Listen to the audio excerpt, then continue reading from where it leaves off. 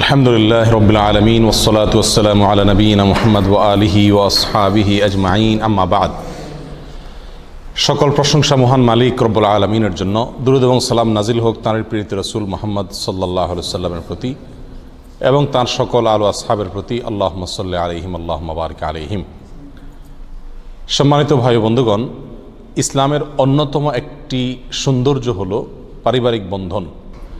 মুসলমানদের মধ্যে পারিবারিক বন্ধনটা অনেক সুদৃঢ়। পারিবারিক বন্ধন মজবুত মুসলমানদের মধ্যে। অন্য কোনো ধর্মের মানুষের মধ্যে বা যারা ধর্ম বিশ্বাস লালন করে না, তাদের ভেতরেও পারিবারিক বন্ধন এত বেশি মজবুত দেখা যায় না। দাম্পত্য জীবনে মুসলমানরা অন্য যে কোনো ধর্মের মানুষের চাইতে সুখী। এটা নিছক দাবি নয়, এটা বাস্তবতা। এটি ইসলামের অনেক পুরাতন ঐতিহ্য। এটা অনেক পুরাতন আভিজাত্য মুসলমানদের। কিন্তু ইদানিং আমাদের দেশসহ আরব দেশগুলোতে এবং গোটা দুনিয়াতে মুসলমানদের মধ্যে পারিবারিক বন্ধনগুলো খুব ঠুনকো হয়ে যাচ্ছে, খুবই দুর্বল হয়ে যাচ্ছে, ভিতগুলো খুব নড়বড়ে হয়ে যাচ্ছে। আগে যেখানে বিবাহ বিচ্ছেদের তালাকের হার ছিল কথার কথা, শতকরা পাঁচ পার্সেন্ট, সেটা এখন শতকরা কোনো কোনো ক্ষেত্রে দশ পার্সেন্টে, অর্থাৎ ডাবলে চলে গেছে এবং খুব অল্প সময়ের ব্যবধানে। বাংলা ইনসাইডার নামে একটা অনলাইন নিউজ পোর্টাল আছে বাংলাদেশের।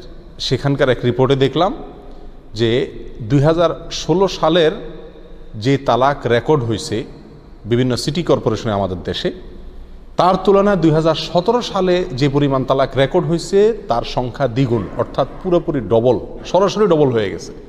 আস্তে আস্তে অবনতির দিকে যায়, ব্যাপারটা এমন না, একেবারে ধাপ করে তালাকের পরিমাণ ডবল হয়ে গেছে। এবং আরও অন্যান্য বিভিন্ন জরিপ থেকে, বিভিন্ন মিডিয়া থেকে আমরা জানতে পারি যে আমাদের দেশে আশঙ্কাজনক হারে, বিশেষ করে শহর অঞ্চলে, ঢাকায় সবচাইতে বেশি ভয়াবহ আকারে তালাকের মাত্রা, সম্পর্কগুলো নষ্ট হয়ে যাওয়ার, পরিবারগুলো ধ্বংস হয়ে যাওয়ার, দাম্পত্য সম্পর্ক ছিন্ন হয়ে যাওয়ার মাত্রা দিন দিন ভয়াবহ আকারে কি করছে? বেড়েই চলছে। শুধু আমাদের দেশেই নয়, সৌদি আরবের অবস্থা ঠিক একই ধরনের সিরিয়াস এবং অত্যন্ত ভয়াবহ। এখানকার বেশ কয়েকটা দৈনিক পত্রিকায় বেশ বিশ্বাসযোগ্য জাতীয় দৈনিক পত্রিকার রিপোর্ট অনুযায়ী যে পরিমাণ তালাক এখানকার মাহকামা বা কোর্টগুলোতে রেকর্ড করা হয়েছে, সেটা অন্যান্য বছরের চেয়ে যত দিন যাচ্ছে, তত আশঙ্কাজনক হারে কোনো কোনো ক্ষেত্রে ডাবলের কাছাকাছি, কোনো কোনো ক্ষেত্রে তার চাইতেও বেশি এরকম তালাক রেকর্ড হচ্ছে। মিশরের একটা জরিপ এবং আরবের অন্যান্য কয়েকটা দেশের জরিপ দেখলাম যে একই অবস্থা। আজ আমরা এই জন্য আলোচনা করতে চাই কেন মুসলমানদের পরিবারগুলো টিকছে না? কেন তালাকের হার বাড়ছে? কেন পারিবারিক বন্ধনগুলো আস্তে আস্তে ঠুনকো হয়ে যাচ্ছে? কেন বিশ্বাসগুলো ধ্বংস হয়ে যাচ্ছে? কেন ঘরগুলো ভেঙে খান খান হয়ে যাচ্ছে? এর কারণগুলো কি? মূল আলোচনা যাওয়ার আগে আমরা একটা হাদিস পেশ করতে চাই। যে হাদিসটি সহি মুসলিমে বর্ণিত হয়েছে এবং বর্ণনা করছেন সাহাবি জাবের রাদি আল্লাহ তালা আনহু। নবী করিম সাল্লা সাল্লাম ইরশাদ করেছেন, ইবলিস তার সিংহাসন সে পানির উপরে স্থাপন করে এবং প্রতিদিন সকালে সে তার বাহিনীকে ছেড়ে দেয়। মানুষের সমাজে ঢুকে মানুষকে ক্ষতির দিকে আহ্বান করার জন্য, মানুষকে ধ্বংসের দিকে নিয়ে যাওয়ার জন্য, মানুষকে দিয়ে গুনাহ করানোর জন্য। কারণ শয়তানের মিশনই হলো এটা। তো তার বাহিনীর লোকেরা, তার সদস্যের লোকেরা সবাই ছড়িয়ে পড়ে বিভিন্ন জায়গায় এবং দিন শেষে জবা, সবাই যখন আবার ফিরে আসে, ইবলিস তাদের কাছ থেকে রিপোর্ট নেয়।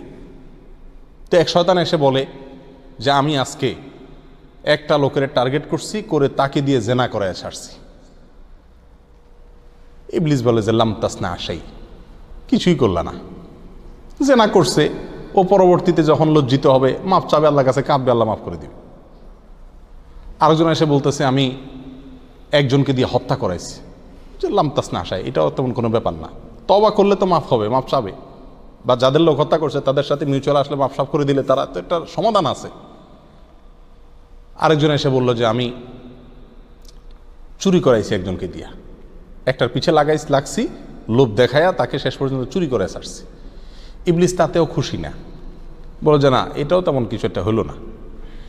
আরেকজন এসে বলে যে, আমি মা বাবার নাফরমানি করাইছি একজনকে দিয়া। কত বড় জঘন্য অপরাধ। ইবলিস বলে যে, এটাও কোনো, এমন কিছু তুমি করো নাই।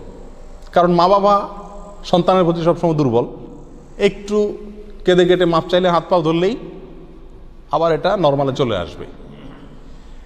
একজন সামনে অগ্রসর হয়ে বলল যে, আমি একটা লোকের পিছনে বা দুইটা লোকের পিছনে আমি লাগছি।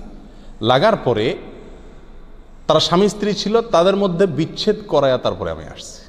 ইবলিস তখন ওই লোককে বলে, নাম, আন্তা আন্তা, আন্ত।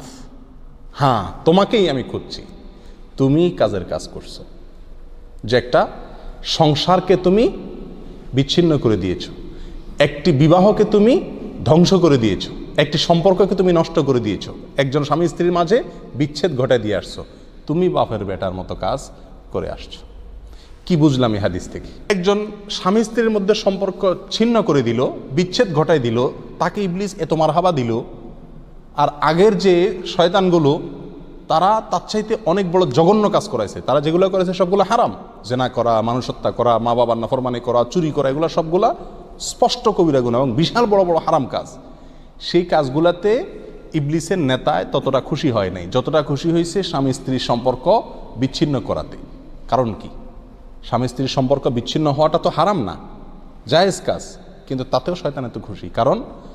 কারণ হলো নাম্বার এক, একান্ত যৌক্তিক কারণ ছাড়া স্বামী স্ত্রীর সম্পর্ক নষ্ট হয়ে যাক, এটা আল্লাহ সুমাতালা মোটেও পছন্দ করেন না। আল্লাহর খুবই অপছন্দনীয় একটি কাজ, আবগাদুল মুবাহ আল্লাহ তালাক এহাদিস নিয়ে অনেকে অনেক কথা বললেও বিশুদ্ধ মত যেটি বিশুদ্ধ। নবী বলেছেন, আল্লাহর কাছে যত হালাল বস্তু পৃথিবীতে আছে, যত হালাল জিনিস আছে, তার ভিতরে সবচেয়ে নিকৃষ্ট হালাল, যেটা আল্লাহ পছন্দ করেন না, শুধুমাত্র অনন্য উপায় হবে মানুষ সেই জন্য এই ব্যবস্থাটা রেখেছেন, তালাক। এর চাইতে অপছন্দনীয় কোনো হালাল আল্লাহর কাছে আর নাই। দ্বিতীয়ত, সম্পর্ক নষ্ট হয়ে যাওয়া, বিবাহ বিচ্ছেদ হয়ে যাওয়া, এটা যদিও মূলগতভাবে একটা হালাল কাজ, না হারামের কিছু নাই, কিন্তু এটার কিছু কিছু পরিণাম জঘন্য জঘন্য হারাম কাজের চাইতেও আরও মারাত্মক পর্যায়ে চলে যায়। আগের শয়তানগুলো একজনকে দিয়ে এক একটা অন্যায় কাজ করাইছে। কিন্তু পরের শয়তানে স্বামী স্ত্রীর মধ্যে সম্পর্কটাকে বিচ্ছিন্ন করে দিছে। এর ফলে কি হয়েছে? তাদের যে সন্তান আছে, এই সন্তানগুলো চিরকালের জন্য, বেশিরভাগ ক্ষেত্রেই, হাতে গোনা দুই একজনকে আল্লাহ হেফাজত করেন, বেশিরভাগ ক্ষেত্রেই এই সন্তানগুলো আর কি হয় না, মানুষ হয় না। হয়তো তাদের স্বপ্ন ছিল, ছেলেটাকে হাফেজ বানাবে, আলেম বানাবে, নামাজি বানাবে, মেয়েটাকে ভালো বানাবে, একটা স্বপ্ন তাদের ছিল। এগুলো হয়, উচ্ছন্নে চলে যায়, খারাপ কোনো রাস্তায়, পা বাড়ায় এবং চিরতরে নষ্ট হয়ে যায়। তাহলে একটা প্রজন্ম ধ্বংস হয়ে যায় অনেক ক্ষেত্রে একটি বিবাহ বিচ্ছেদ থেকে। এই জন্য শয়তান এটাকে এত বেশি কি করে? আপনার ওয়েলকাম করে এবং এত বেশি সে খুশি হয়। প্রিয় ভাইয়েরা, যত তালাকের ঘটনা ঘটে, আমাদের দেশে সহ সারা পৃথিবীতে, আমার ব্যক্তিগত অভিজ্ঞতা হলো, বেশিরভাগ মানুষ তালাক দেওয়ার পরে সেটা স্বামী হোক আর স্ত্রী হোক, যার পক্ষ থেকেই তালাকের ঘটনা ঘটুক না কেন, একটা পর্যায়ে এসে তারা বুঝতে পারে যে কাজটা তারা সঠিক করেন নাই। তখন তারা বলে, আমরা আবার ফিরে আসতে চাই ফিরে নিতে চাই। উপায় কি আছে? অনেক ক্ষেত্রে আর কোনো উপায় নেওয়ার থাকে না। তো এই জন্য তালাক দেওয়ার আগে, তালাকের ঘটনা ঘটার আগে একজন স্বামীকে, একজন স্ত্রীকে হাজার বার চিন্তা করতে হবে। প্রথমত, স্বামী স্ত্রীর ভিতরে সম্পর্ককে যদি কোনো রকম দুর্বল করে দিতে পারে, স্বামী স্ত্রীর ভিতরে সম্পর্ককে যদি কোনো রকম ঠুনকো করে দিতে পারে বিশ্বাসটা নষ্ট করে দিতে পারে, তাহলে শয়তান সবচাইতে বেশি বিজয়ী হয়। এই কথাটা আমাদের সবসময় মাথায় রাখতে হবে যে আমাদের স্বামী স্ত্রীর সাথে সম্পর্ককে দুর্বল করার জন্যই শয়তানের সবচাইতে বেশি প্রচেষ্টা এবং তাদের সবচেয়ে বেশি চক্রান্ত এবং ষড়যন্ত্র থাকে। অতএব শয়তানকে কোনোভাবে জিততে দেওয়া বুদ্ধিমানের কাজ হবে না। আল্লাহ তালা আমাদের সবাইকে হেফাজত করুন। প্রিয় ভাইয়েরা, আমাদের সমাজে আজকাল কেন অধিক পরিমাণে তালাক বাড়তেছে? এই যে বিবাহ বিচ্ছেদের পরিমাণ দিন দিন তরতর করে বেড়ে চলছে, সম্পর্কগুলো টিকছে না, এর কারণগুলো কি? আমরা পর্যালোচনা করেছি যে কয়েকটা কারণ খুঁজে পাওয়া যায়। নাম্বার এক, প্রথম হলো বিবাহের আগেই ছেলে এবং মেয়ে, পাত্র এবং পাত্রী উভয়টি নির্বাচনের ক্ষেত্রে উভয় পক্ষ ভুল করেন। আর এই ভুলের কারণে পরবর্তীতে আর সম্পর্কটা দেখা যায়, চেষ্টা করেও টিকায় রাখা যায় না। নবী আলাইসালাতাম বলেছেন, তুনকাহুল মার আতু লি আর বাইন মেয়েদেরকে বিবাহ করা হয় চারটি জিনিস দেখে। তার সৌন্দর্য দেখে, তার বংশ দেখে, তার পয়সা করি বাপের সম্পদ ইত্যাদি এগুলো দেখে এবং তার দিনদারি দেখে। এই চারটি জিনিস দেখে মানুষ সাধারণত বিয়ে করে। এই চারটির ভিতরে আমরা প্রথম তিনটাকে খুব গুরুত্বের সাথে দেখি। মেয়ে সুন্দরী কি না? বাবার টাকা পয়সা আছে কি না? পড়ালেখা সার্টিফিকেট কি আছে? বংশমর্যাদা কি আছে? এগুলো আমরা খুব গুরুত্বের সাথে দেখি। আর এই চারটার ভিতরে যে পয়েন্টটা নবীল ইসলাম আমাদেরকে দেখার জন্য নসিহত করেছেন, ওসিয়ত করেছেন, তিনি আল্লাহ সুহাতালার পক্ষ থেকে ওহির মাধ্যমে প্রাপ্ত এলিম দ্বারায় তিনি জানেন আমাদের সুখ নির্ভর করে এই চারটার কোনটার উপরে। সেজন্য তিনি আমাদেরকে ওসিয়ত করেছেন, ফজফর লিজাতির দিন। তুমি দিনদারিটাকে সবসময় অগ্রাধিকার দিয়ে জিতার চেষ্টা করবা, বিয়ে করার ক্ষেত্রে। আমাদের সমাজে খুব কম সংখ্যক বিয়েতেই পাত্রপক্ষ, পাত্রীর বা পাত্রীপক্ষের দিনদারিকে প্রাধান্য দেয়। কয়জন দেয়? হাতে গোনা কয়েকজন। একইভাবে পাত্রীপক্ষ পাত্রের ইনকাম কত, বেতন কত, পয়সা করে কি আছে ব্যাংক ব্যালেন্স কি আছে, যোগ্যতা সার্টিফিকেট কি আছে, এই সমস্ত দেখে দিনদারিটা খুব একটা দেখা দেখি হয় না। একজন মানুষ যদি প্রকৃত অর্থে দিনদার থাকে, তাহলে সে ধৈর্যের পাহাড় হবে। তার ভিতরে তুষ্টি থাকবে। সে কুড়ের ঘরে থেকেও আল্লাহর কাছে শুক্রিয়া আদায় করা, মানুষের কাছে শুক্রিয়া আদায় করার দীক্ষা এবং শিক্ষা সে পাবে। কিন্তু একটা মানুষের কাছে যখন দিন থাকে না, তখন কিন্তু সে নিরাশ হয়ে যায়। তার ভিতরে ধৈর্য আর সাধারণত কাজ করে না। এই জন্য ভাইরা বিবাহ বন্ধনকে যদি মজবুত রাখতে চান, তাহলে বিবাহের আগেই পাত্র এবং পাত্রী নির্বাচনের ক্ষেত্রে খুব দৃঢ়তার সাথে, বুদ্ধিমত্তার সাথে নির্বাচন করতে হবে। আজকালকার যুগে বেশিরভাগ ক্ষেত্রেই পাত্রপাত্রী নির্বাচন করে ছেলে মেয়ে নিজেরা।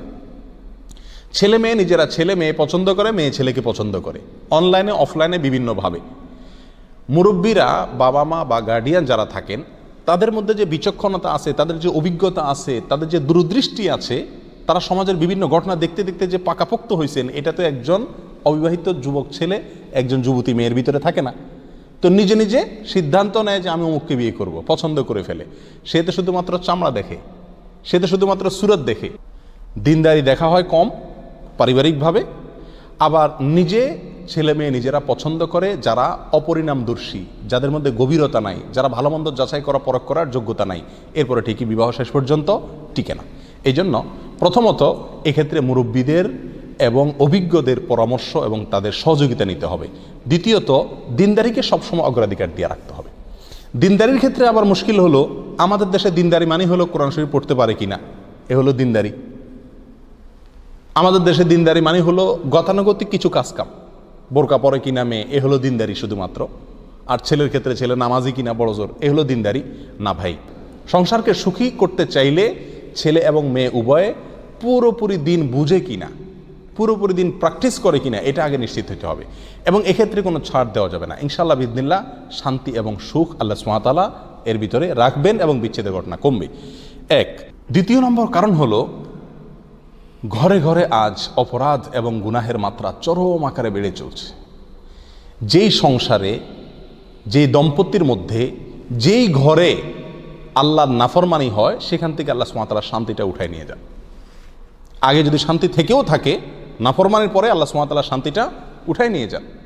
আজ ঘরে ঘরে স্বামী স্ত্রী উভয়ে নানা রকম অবৈধ কাজে, হারাম কাজে লিপ্ত। পুরুষে অন্য মেয়েদেরকে দেখে মজা নেয় সেটা ফেসবুকে হোক ইমোতে হোক, পত্রিকায় হোক, ম্যাগাজিনে হোক, টেলিভিশনে হোক, অফলাইনে হোক, অনলাইনে হোক, তিনি বাহিরে অন্য মেয়েদের দেখে মজা নিচ্ছেন, হারাম কাজে লিপ্ত, যেটা দুনিয়ার সবচেয়ে বড় উপভোগের বস্তু সবচেয়ে বড় সুখের জায়গা, তার দুনিয়ার জান্নাত, সেই স্ত্রীর মধ্যে সুখটুকু আল্লাহ তারা উঠায় নিয়ে যান। কারণ, সে হারামের মাধ্যমে কি করতে চায়? তার নিজের এই চাহিদাকে চরিতার্থ করতে চায়। সে অবৈধ কাজে লিপ্ত। একইভাবে স্ত্রী মেয়েরা বাহিরে যাওয়া যাওয়ার সময় কি করে? সাজগোজ করে, স্প্রে করে। মানুষকে দেখায়, মানুষকে আকৃষ্ট করে। তার নিজের স্বামীর জন্য সাজগোজ করে না। এরকম আরও নানাবিধ অপকর্ম, হারাম কাজ, এগুলো আমাদের পরিবারগুলোতে আসে না নেই? ঘর বাড়িতে যত বেশি হারাম কাজের চর্চা হবে, স্বামী স্বামীর মতো হারাম কাজ করছে, স্ত্রী স্ত্রীর মতো হারাম কাজ করছে, এবং এগুলো দিন দিন বাড়ছে। আর হারাম কাজ বাড়ছে সেই জন্য আল্লাহ সুমাতালা পারিবারিক শান্তিটা উঠে নিয়ে যাচ্ছেন। ঝগড়াঝাটি বাড়ছে এবং অশান্তি হচ্ছে, সংসারগুলো তসনস হয়ে যাচ্ছে। প্রিয় ভাইয়েরা, আল্লাহ সুমাতালা হারামের সাথে কি রাখেন নাই? আরাম রাখেন নাই। আল্লামা ইবনুল কাইম রাহেমাহুল্লাহ তার বিখ্যাত কিতাব আল জওয়াবুল কাফির ভিতরে লিখছেন যে, কোনো এক সালাফ পূর্বসূরি তিনি বলেছেন, আমি খেয়াল করে দেখেছি একটা বিষয়। আমি যখন কোনো অন্যায় করি, কোনো গুনাহের কাজ করি, তো এর ধাক্কা এসে লাগে আমার যে বাহন তখনকার যুগে ঘোড়া গাদা এগুলো ছিল। সেগুলো এবং আমার স্ত্রী, এই দুইটা ক্ষেত্রে। বাহিরে কোনো অন্যায় করছি বা ভিতরে কোনো অন্যায় করছি, আল্লাহর কোনো নাফরমানে করছি, কোনো গুনাহে লিপ্ত হয়েছি তো দেখি যে ধাক্কা এসে লাগে এখানে। এদের আচার আচরণ সম্পূর্ণ বিগড়ে যায়, নষ্ট হয়ে যায়। তো এই কথাটাকে যদি সামনে রাখি আমরা, একেবারে পরিষ্কার হয়ে যায়। গুনাহ যত বাড়বে, তত পারিবারিক সম্পর্কে, স্বামী স্ত্রীর সম্পর্কের ভিতরে টানাপোড়েন সৃষ্টি হবে এবং আস্তে আস্তে বিবাহগুলো ভাঙতে থাকবে, বিচ্ছেদ হতে থাকবে। এই জন্য বিবাহ বিচ্ছেদ এড়ানোর জন্য স্বামী স্ত্রী উভয়কে গুনাহ থেকে বাঁচার চেষ্টা করতে হবে তবা করে আল্লাহর কাছে ফিরে আসতে হবে। তাহলে ইনশাআল্লাহ সম্পর্ক আস্তে আস্তে কী হবে? গাঢ় হবে। সই বুখারিতে আসছেন বেলাসাল্লাম বলেছেন লাতাদ হুলুল মালা ইকাতু বাইতান ফি হি কালবন অতাসাবির আমাদের ঘরবাড়িতে শান্তি উঠে গেছে। এর দ্বিতীয় কারণ বলছিলাম কি? গুনাহ বেড়ে গেছে না? এই যে গুনাহ বেড়ে যাওয়ার কারণে শান্তি উঠে গেছে, এর একটা বিশেষ পার্ট হলো আল্লাহর রহমতের ফেরেশতা বাসা বাড়িতে আসার জন্য যত রাস্তা আছে সবগুলো আমরা বন্ধ করে ফেলছি। রহমতের ফেরেশতা আসার যত দরজা ছিল, রাস্তা ছিল, আমাদের পরিবারগুলোতে বেশিরভাগ ক্ষেত্রে আমরা সেগুলো সব কি করছি? বন্ধ করে ফেলছি। আল্লাহর ফেরেশতারা রহমত নিয়ে আসছেন না।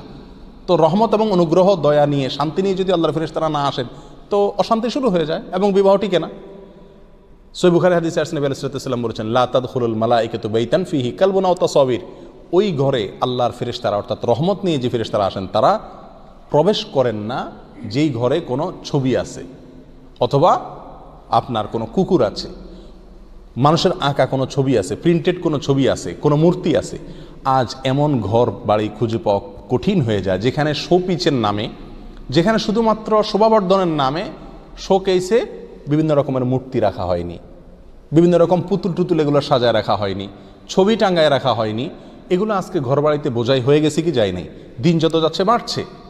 আর আল্লাহর রহমতের ফেরেস্তা আসা বন্ধ হয়েছে। শুধু এই একটি পয়েন্টই না।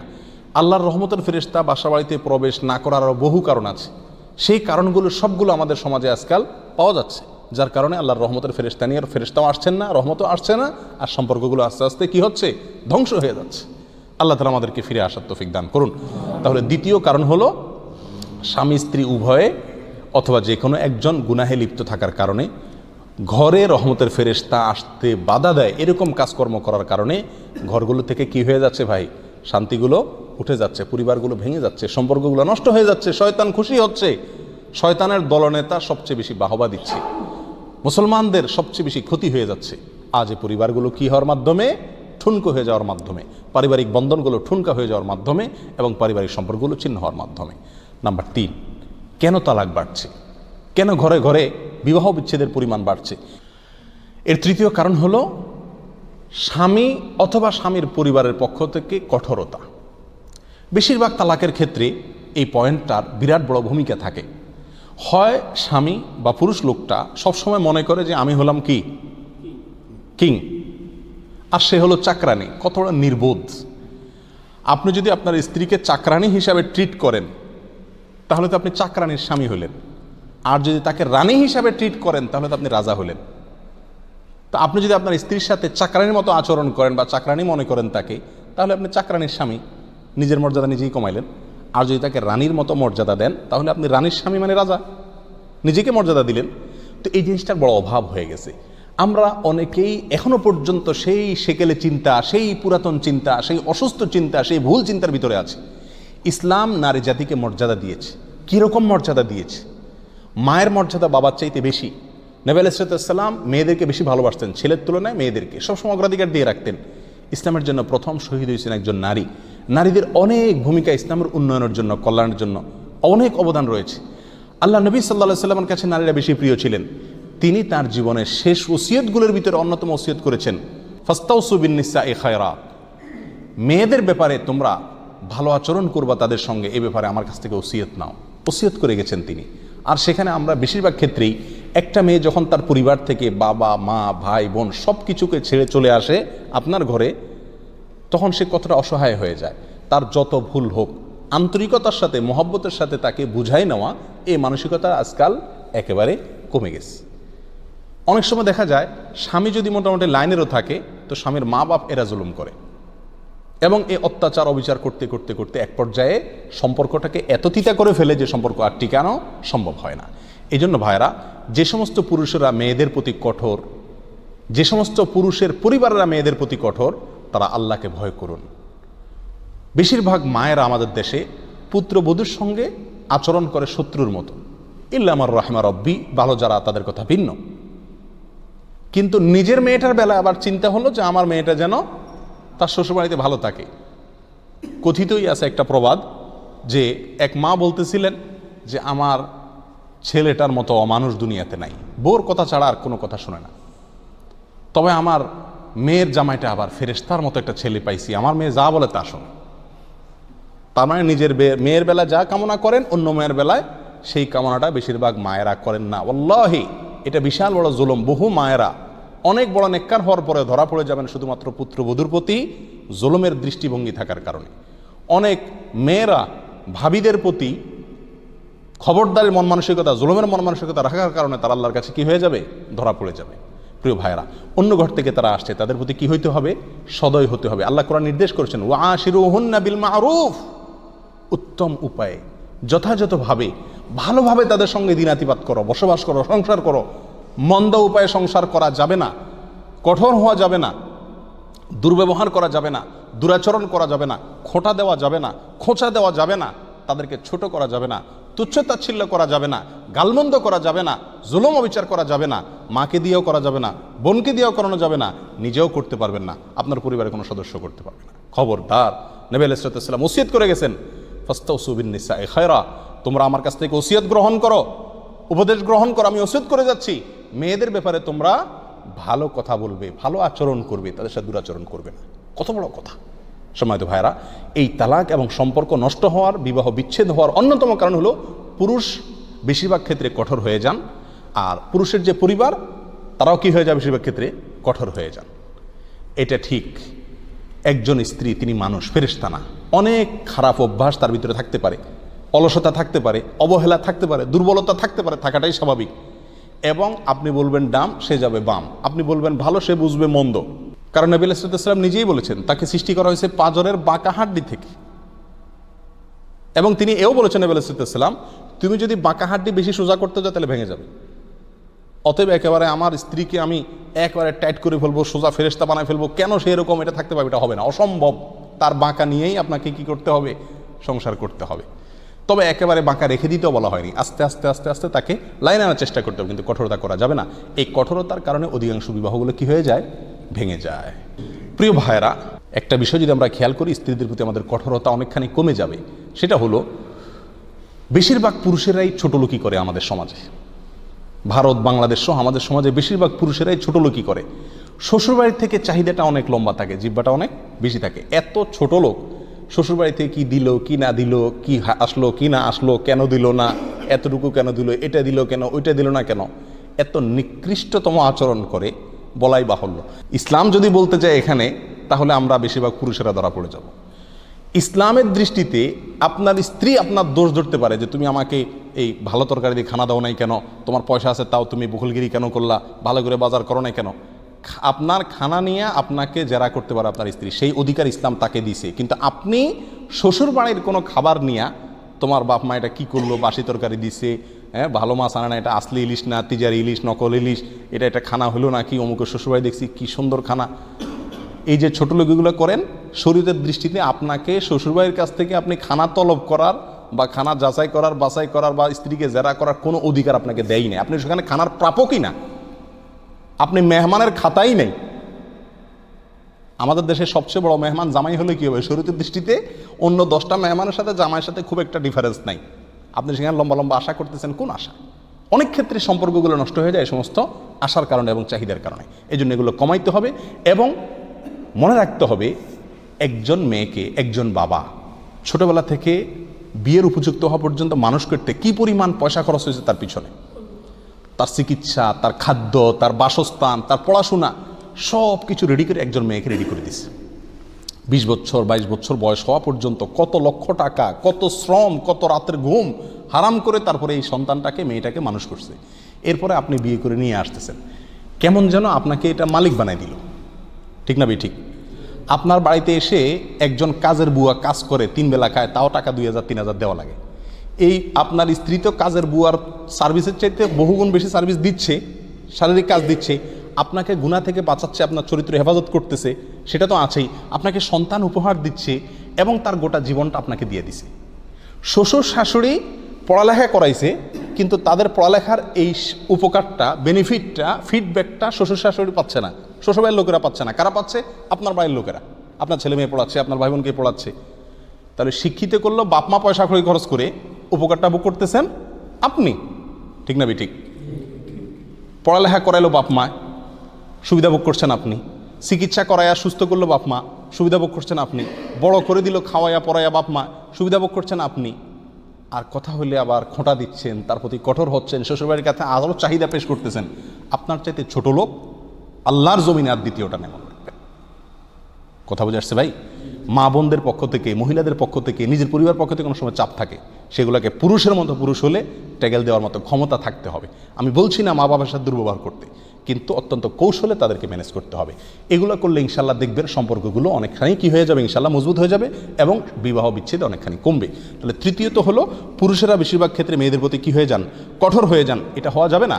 আল্লাহ বলেছেন ও আশির বিল মারুফ। তোমরা তাদের সাথে কি করো? যথাযথভাবে, সুন্দরভাবে তাদের সাথে জীবনযাপন করো। নবী আলাইসালাম বলেছেন হয় রকম হয় রকম লি আহলি। তোমাদের ভিতরে সবচেয়ে ভালো মানুষ হলেন ওই লোকটা, যেই লোকটা তার স্ত্রীর কাছে ভালো। ও আনা খাই রকম লি আহলি। আর আমি তোমাদের মধ্যে পরিবারের কাছে, স্ত্রীর কাছে সবচাইতে ভালো।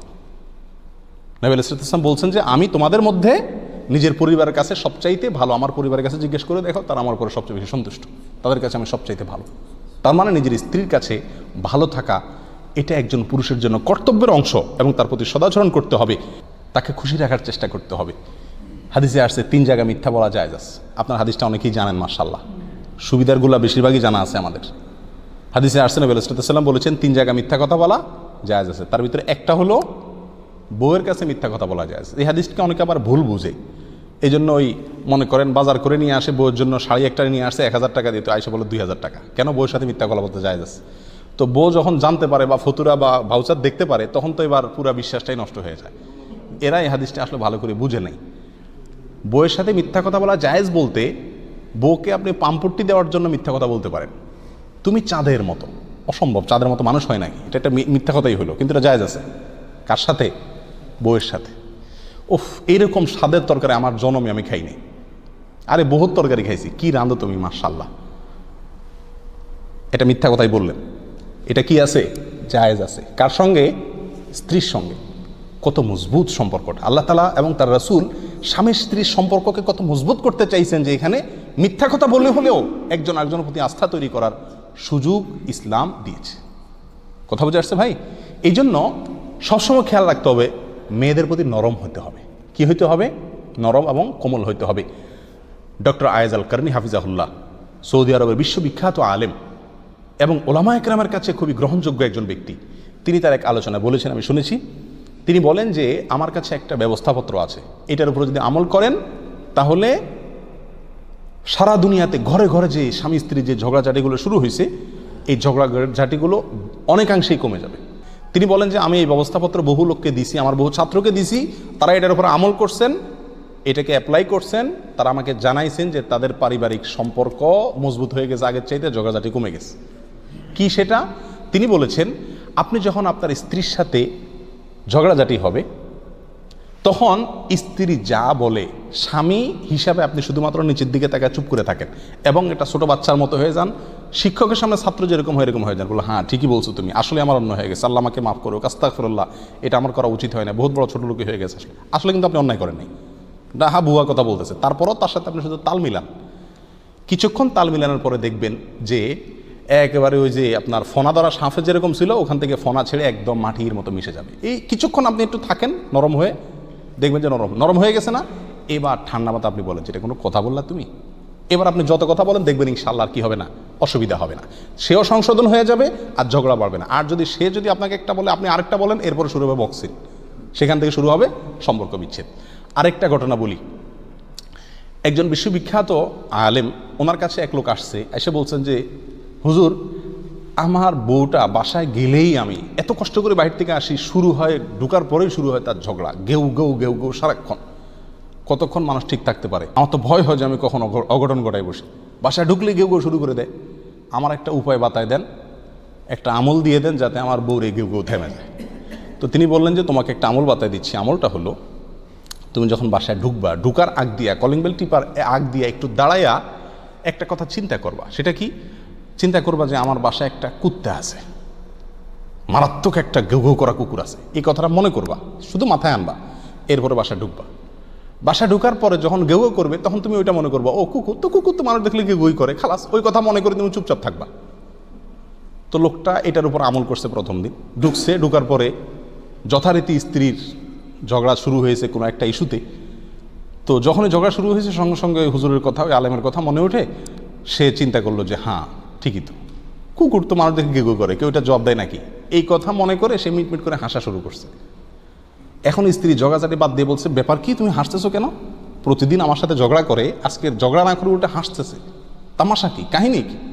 বহুত জোরাজোরি বলে না। একদিন যায়, দুই দিন যায়। কি আমি ঝগড়া করলে সে উল্টা হাসে আরও ঝগড়া তো হচ্ছেই না, বরং আরও হাসতেছে। তো স্ত্রী জোরাজোরি করার পরে, ধরার পরে বলতেছে, দেখো, আসলে কাহিনী হলো এই। স্ত্রী তখন চিন্তা করছে লাহাওলা কতল ছি ছি ছি ছি ছি, সর্বনাশ। এর সাথে আমি ঝগড়া যখন করি, তখন সে আমার কুত্তা মনে করে, ছি ছি ছি। এরপর থেকে স্ত্রী ঝগড়া করার সময় তারও কি হয়? হিসাব নিকায় শেষে যায় যে, এ তো হাসা শুরু করবে এখন। আমার কুকুর মানা শুরু করবে। এগুলো হলো এক একটা পলিসি এক কথায়, ইসলাম সবসময় চায় স্বামী স্ত্রীর সম্পর্ককে অনেক মজবুত করতে। যার সাথে তার স্ত্রীর সম্পর্ক যত বেশি গাঢ়, যত বেশি ভালো, তারা আল্লাহর কাছে তত বেশি প্রিয় এই দিক থেকে ইনশাআল্লাহ। আল্লাহ তালা আমাদের সবাইকে, আমাদের সম্পর্কগুলোকে গাঢ় করার তৌফিক দান করুন। প্রিয় ভাইয়েরা, নাম্বার চার। তালাকের পরিমাণ বেশি হচ্ছে আমাদের সমাজে, এর চার নম্বর কারণ হলো যেমনে সেমনে তালাকের ব্যবহার করা। তালাক এই অস্ত্রটা যে কত ভয়াবহ, কত কঠিন, এটা যে একবার দিয়ে দিলে আর ফেরত নেওয়া যায় না অনেক ক্ষেত্রে, এই জিনিসটুকু আমরা ভালো করে রপ্ত করি নেই। আর না করতে পারার কারণে কথায় কথা একটু রাগ উঠলেই তালাক দিয়ে দিচ্ছি। না ভাই, তালাক এত সহজ না। আল্লাহ সুমাতাল্লাহ কোরআন কারিমে বিবাহের সম্পর্ককে বলছেন, মিসাকান গালিদ আল্লাহ বলছেন ও আখাদ না মিঙ্কু মিসাকান গালিদা মেয়েরা মেয়েরা তোমাদের কাছ থেকে, তোমাদের স্ত্রীরা তোমাদের কাছ থেকে গাঢ়, মজবুত, সুদৃঢ় বন্ধন তারা তোমাদের কাছ থেকে নিয়েছে। এই বন্ধনকে আল্লাহ সুমাতালা সুদৃঢ় বন্ধন বলছেন। মারাত্মক শক্ত বন্ধন স্বামী স্ত্রীর সম্পর্ক। আর আপনি একটু হালকা জগাজাটি হলো, কিছু নিয়ে কথা কাটাকাটি হলো, যে কোনো ইস্যু হলে আর তালাক দিয়ে দিলেন। এত মজবুত বন্ধ আল্লাহ যেটাকে আল্লাহ যেটাকে এত শক্ত বন্ধন বলছেন, সেটাকে আপনি যে কোনো একটা ঠুনকো কারণে কি দিচ্ছেন? ওই বন্ধনটাকে ছিঁড়ে ফেলার চেষ্টা করছেন। কত বড় অন্যায় করছেন আপনি। এই জন্য যেমনি সেমনি তালাকের কথা না বলা। রাগ হইলে তালাকের সিদ্ধান্ত যদি আপনি কখনো নেন, ওলামাদের সাথে পরামর্শ করবেন, অভিভাবকদের সাথে পরামর্শ করবেন, অভিজ্ঞদের সাথে পরামর্শ করবেন, তারপরে তালাকের সিদ্ধান্ত নেবেন। আল্লাহ কোরআন কারিমে কয়েকটা ধাপ বলেছেন। যদি বনিবনা না হয়, আল্লাহ বলছেন যে সালেস ঠিক করেন, তৃতীয় পক্ষ ঠিক করেন। দুজনে বলছে না, তৃতীয় পক্ষকে ডাকেন যে আপনি আমাদের মধ্যে কি করেন? সুরাহা করে দেন। দেখবেন ইনশাআল্লাহ কী হয়ে যাবে? সমাধান হয়ে যাবে। কথা বুঝে আসছে? আল্লাহ সুবহানাহু কোরআন কারিমের ভিতরে বলেছেন আত্তালা কুমার রতানে ফাইমসাকুম বিমা আরুফিন আও হাম্বি বিইহসান। আমরা একসাথে হাজার হাজার তালাক দিতে চাই। অনেকে তিন তালাক দেয় না। তিন লক্ষ তালাক, তিন হাজার তালাক, এরকম বলে। আরও কি বেগুন তালাক তালাক বলে? আসলে তালাকে বায়ান বলবে, বলে বেগুন তালাক। যাই হোক, আল্লাহ বলছেন আর তালাক কুমার রতানে আরুফিন আও তাসরিহাম বিইহসান। আপনি যদি সম্পর্ক ছিন্নই করতে চান, বহু ঠান্ডা মাথায় সিদ্ধান্ত নিয়েছেন, না, এখানে সম্পর্ক আর রাখা যায় না। তাহলে কমপক্ষে দুইবার চান্স নেবেন। প্রথমবার তালাক দেওয়ার পরে ফেরত নেওয়ার সুযোগ রাখবেন। প্রত্যাহারযোগ্য তালাক দিবেন, যাতে করে দ্বিতীয়বার নেওয়ার সুযোগটা থাকে। গোটাই দিয়ে এরপরে এসে কাঁদবেন, হুজুর, এখন তো তারা ছাড়া বাঁচবো না, বাচ্চাগুলোর জীবন কি হবে, হায় হায় ভুল হয়ে গেছে, বুঝতে পারি নাই। তখন আর কান্নাকাটি করলেও হুজুরের হাতে কিছু করার থাকবে না। এই জন্য ইসলাম তালাক দেওয়ার আগে বহুবার আমাদেরকে ভাবতে নির্দেশ করছে। আপনি দেখুন, তালাকের বিধানটা ইসলাম প্রয়োগ করার আগে কতগুলো ঘাট পার হয়ে যেতে বলছে। আপনি স্ত্রীকে তালাক দিতে চান, তালাকের সঠিক পদ্ধতি কি? আপনি স্ত্রীকে তালাক দিতে চাইলে একটা পবিত্র পিরিয়ড যাবে, এরপর একটা মাসিক আসবে মাসিক যাওয়ার পরে আবার পবিত্র হবে স্ত্রী, তারপরে আপনি কি করবেন? যদি প্রয়োজন মনে করেন তালাক দিবেন। ওই দ্বিতীয়বার যে পবিত্র পিরিয়ড আসলো মাসিকের পরে, সেই পবিত্র পিরিয়ডে স্ত্রীর সাথে সহবাস করার আগে তালাক দিতে হবে। কেন বলছে সবার আগে তালাক দিতে হবে জানেন? কারণ মাসিকের একটা পিরিয়ড যাওয়ার পরে আপনার স্ত্রীর প্রতি চাহিদা তৈরি হয়েছে প্রচণ্ডভাবে। এত চাহিদার পরেও যদি আপনি তালাক দেওয়ার সিদ্ধান্ত নেন, তাহলে বোঝা গেল এই সিদ্ধান্তটা ঠান্ডা মাথায় আপনি নিচ্ছেন শরীরের চাহিদা আছে তার প্রতি, তারপর আপনি তালাকের সিদ্ধান্ত নিচ্ছেন। তার মানে এটা ব্যালেন্সেড সিদ্ধান্ত হচ্ছে। তাই ইসলাম তালাকের আগে এতগুলো ঘাট পার হয়ে যেতে বলছে এই জন্যই যাতে করে তালাকটা অজাগায়, অপাত্রে, অসময়ে পতিত না হয়। এই জন্য ভাইরা যেমনে সেমনে তালাক বলা এটা ঠিক না। ঝগড়াঝাটি হলো অনেকে, কথার কথা, না তোমার তালাক দিয়ে দিব, না তোমার সাথে চলবে না। এই কথাগুলো একজন মেয়ের মনকে সবচেয়ে বেশি চুরমার করে দেয় ভেঙে। এবং সম্পর্ক, বিশ্বাস সেখানেই নষ্ট হয়ে যায়। খবরদার। মেয়েরা অনেক সময় বলে মুখে মুখে। কিন্তু আপনি স্বামী হিসাবে কখনো সম্পর্কের কথা টান দিবেন না। খবরদার। এটা ঝগড়াঝাটের সময় যদি বলে ফেলেন, আস্তে আস্তে এটা হালকা পাতলা হয়ে যায় এবং সম্পর্ক কি হয়ে যায়? নষ্ট হয়ে যায়। আল্লাহ বলেছেন ওয়াল্লাহাতি তাকাফুন আনুসুজাহুন্না যে সমস্ত মহিলারা, স্ত্রীরা তোমাদের কথা শুনবে না। মনে হয় যে বেড়া হয়ে যাবে বেলায়ন হয়ে যাবে, এরকম মনে হচ্ছে ফাইজু হুন্না প্রথম হলে তাদেরকে একটু নসিহত করো। কোনো আলেম দিয়া, কোনো শেখরে দিয়া ওয়াজ নসিহত করাও, শোনাও, বুঝাও স্বামী কী জিনিস, সম্পর্ক কী জিনিস, বিবাহ কী জিনিস, বিচ্ছেদ কত খারাপ জিনিস, এর পরিণাম কত খারাপ হয়, এগুলো বুঝাও তাকে। তাকে মানুষ করার চেষ্টা করো, আল্লাহ বলছেন ওয়াহ জুরুহুন্না ফিল মাজাজে। বুঝায়ও কাজ হচ্ছে না, বিছানা আলাদা করে ফেলো, রাগ করো। রাগ করে থাকো। এরপরেও তোমাদের কাজ হচ্ছে না, তার সংশোধন হচ্ছে না। ওয়াদরিবু হুন্না প্রয়োজন একটু প্রহার করো, শাসন করো। তাতেও যদি কাজ না হয়, তাহলে যে তারপরে কি করতে হবে? তালাকের সিদ্ধান্ত নিতে হবে। আল্লাহ বলছেন, ফাইন আতানাকুম এই তিনটা ধাপ পার করার পরে যদি সে লাইনে আসে, খবরদার। ফালা তাবু আলাইহিন্না সাবিলা, তাহলে আর কোনো দ্বিতীয়বার তালাকের চিন্তা মাথায় আনবা না। আল্লাহ সুমাতালা কতগুলো ধাপ অতিক্রম করতে বলছেন। এই জন্য ভাইরা, এই জিনিসটা আমাদের খুব বেশি কী করতে হবে? খেয়াল রাখতে হবে। নাম্বার পাঁচ, বিবাহ বিচ্ছেদের পরিমাণ বাড়ার আরেকটা অন্যতম কারণ হলো আমাদের দেশে তথাকথিত নারীবাদীরা। নারীবাদী বলে যারা নিজেদেরকে পরিচয় দেয় আমাদের দেশে, খুব নারীর কল্যাণকামী নারী স্বাধীনতার জন্য খুব কাজ টাজ করে বলে মনে হয়। এদের অনেক কাজ হয়তো ইতিবাচক, অনেক প্রচারণা হয়তো ইতিবাচক, কিন্তু পারিবারিক বন্ধনগুলোকে ধ্বংস করার জন্য এদের ভূমিকা অনস্বীকার্য। এরা সবসময় মেয়েদেরকে উস্কাই দেয় যে আরে তুমি কি গোলাম নাকি, তুমি কি বাদী নাকি, তুমি নিজের পানে যে দাঁড়ানো শিখে এই সমস্ত বলে টলে পাম্পট্টি দিয়ে কোনো রকম সম্পর্কটাকে যদি ভেঙে দিতে পারে, এরপরে এই মেয়ে সারা জীবন কাঁদতে থাকে আর রাস্তা রাস্তা ঘুরতে থাকে।